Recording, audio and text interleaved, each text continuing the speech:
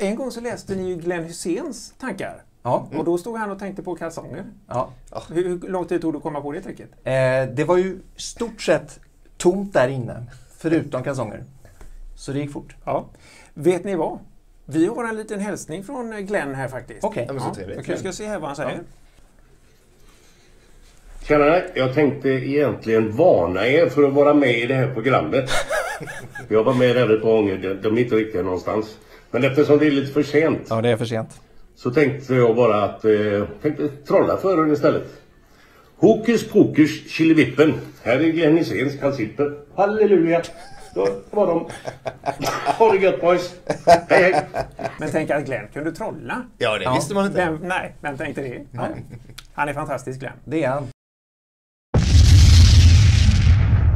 Visste ni att de flesta av artisterna i TV4 Så mycket bättre numera är så okända att man först efter deras medverkan i programmet aldrig hört talas om dem?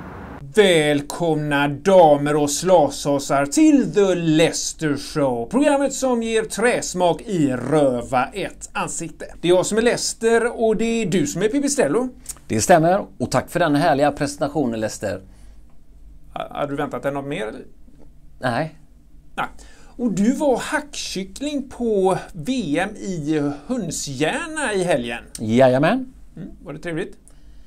Nej, Nej, men jag tror vi har lite bilder här från det arrangemanget. Du kanske kan berätta lite grann vad det är vi ser här? här ser man... Eh, kommer inte ihåg. Nej. Då skiter vi i det och går istället över direkt till Gråbo Live och det som sker i detta nu, just där.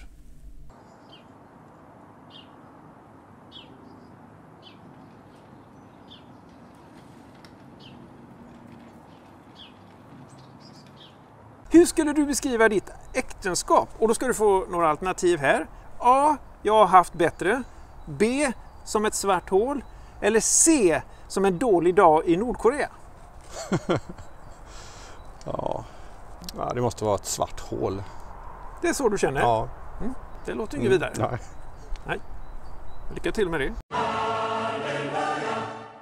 Kjell, du är helnorsk. Mm. Men hur är det med norskan? Vi kan ju alltid ta intervjun på norska om du vill. Ja, vi kan ju pröva. Ja. Eller nu är det så... Jag är ju väldigt dåligt på norska. Mm. Så vi kan, men vi kan göra så att vi dubbar en liten stund här på intervju. Mm. Så, alltså i efterredigeringen här. Ska jag svara på norska? Nej, det behöver du då inte göra. Nej, för du dubbar. Dubbar detta ja, men vad bra. Vad bra. Så vi kan slappna av här. Men jag tar Ja. ändå fråga. Ja. Och så dubbar vi det i efterhand. Är du med? Mm.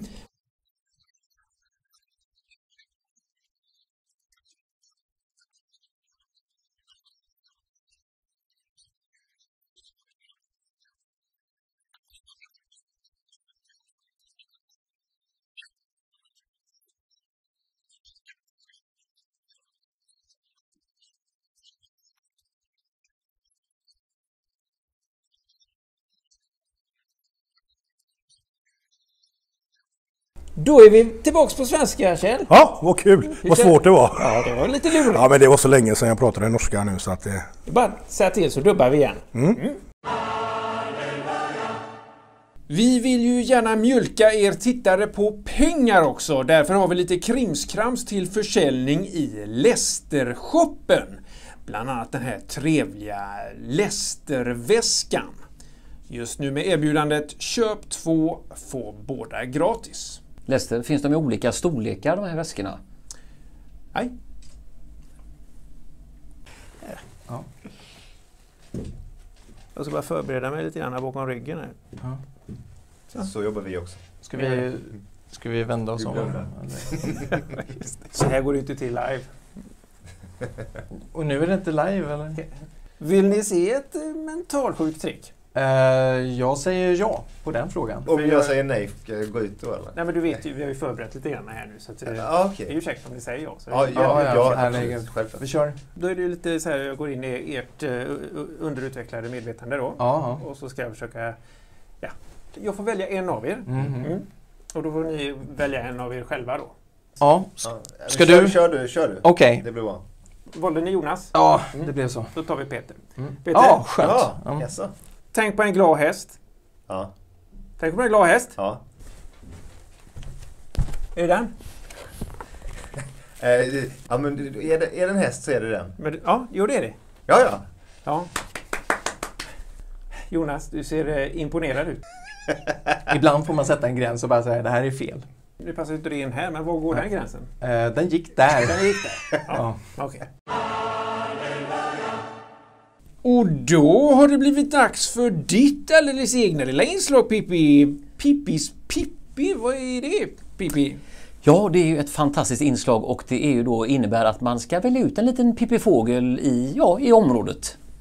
Och vilken är då veckans Pippi Pippi? Veckans Pippis Pippi är en MMA-mes. Jättefin.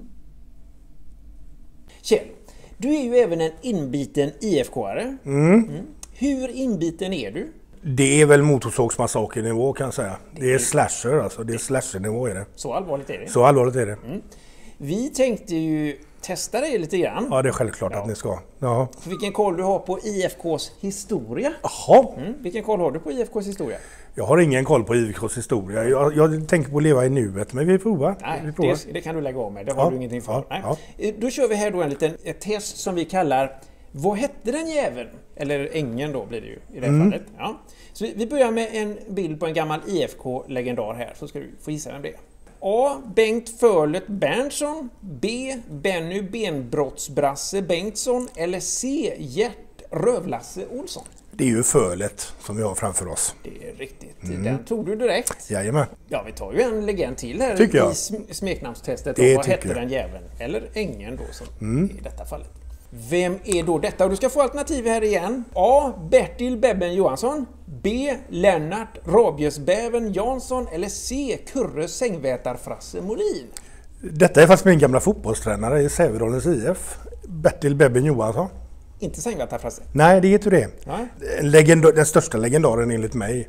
Ja, efter Gud då, eh, Tobbe Nilsson. Nej, det är givetvis rätt. Man ska ju inte skoja om detta egentligen. Det är, men- det är inget skoj. Nej, och det är ju heller inget humorprogram detta. Nej, det är ju inte det. Nej. Fram med råttgift och björnsax. Det har blivit dags för den så måttligt populära tävlingen På håret. Och vi har fått in många svar här på förra veckans fråga som ju löd När går ridån ner i Gråbo? Bland annat då Esbjörn Kastlös i Mundal som svarat Den är alltid nere. Och det är ju tyvärr inte rätt. Men Esbjörn, det är på håret. Lästehjärt här och jag befinner mig i detta nu Gråbo. En färsk undersökning visar att 7 av 10 invånare i Gråbo inte vill ställa upp i undersökningar. Du, Helene, du är en av Sveriges allra mest framgångsrika golfare genom alla tider. Vi ska läsa upp lite grann här vad du har åstadkommit.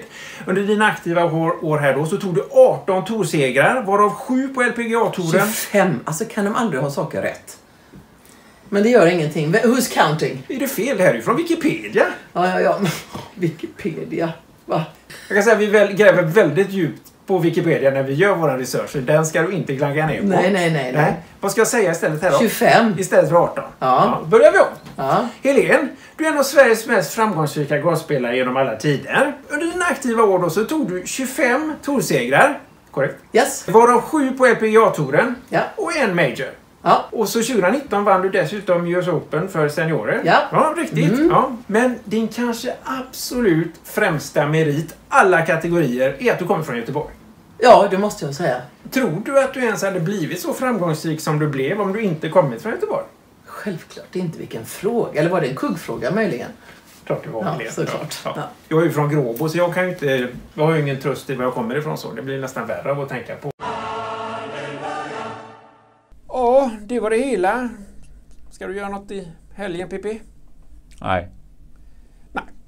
Och glöm nu inte att köpa Lästerlotten. Hela överskottet går till asexuella bigamisters skilsmässoförening Skilj dig från mängden. Tack för ikväll. Hej Schweiz! Godnatt Gråbo.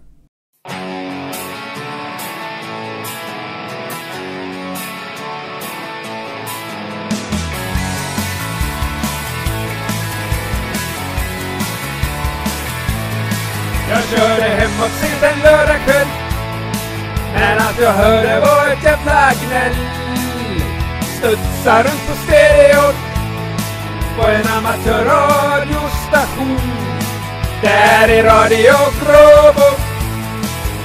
Hör någon enda jävel mig Hallå Gråbo. Där är Radio Gråbo. Hör någon enda jävel mig Hallå Gråbo. De spelar bäst av Affe Robertsson.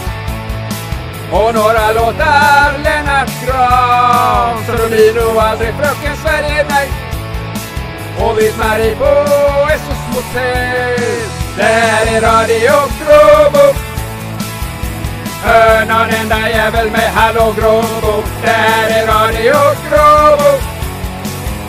Hör någon enda jävel med Hallå Gråbo. Hör någon enda jävel med Hallå Gråbo.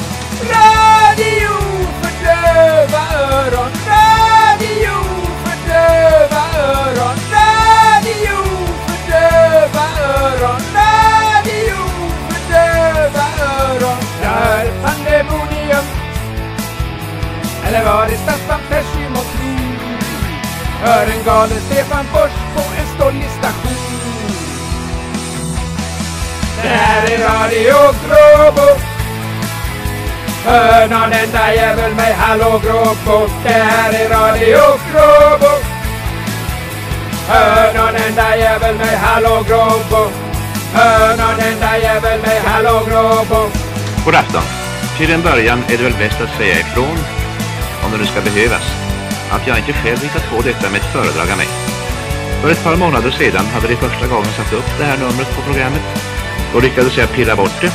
Men nu under helgerna var jag ouppmärksam och här sitter jag nu och känner mig enkel och ska hålla föredrag. Jag körde hemåt sent en lördagkväll Men allt jag hörde var ett jävla gnäll Studsar runt på stereo På en amatörradiostation där är Radio Gråbo Hör någon enda jävel mig Hallå Gråbo Där är Radio Gråbo Hör någon enda jävel mig Hallå Gråbo Hör någon enda jävel mig Hallå Gråbo